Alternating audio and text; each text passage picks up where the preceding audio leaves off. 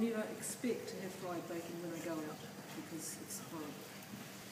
It's always looks soft and gluggy and you never get any crispness to it. So you should always be grilling it and that's one of the reasons why also is that you're taking away a lot of the saturated fat out of it whereas you're not when you're frying it.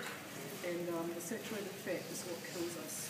And that's what gives us the heart attacks and the um, the uh, colon, colonoscopies and things like that.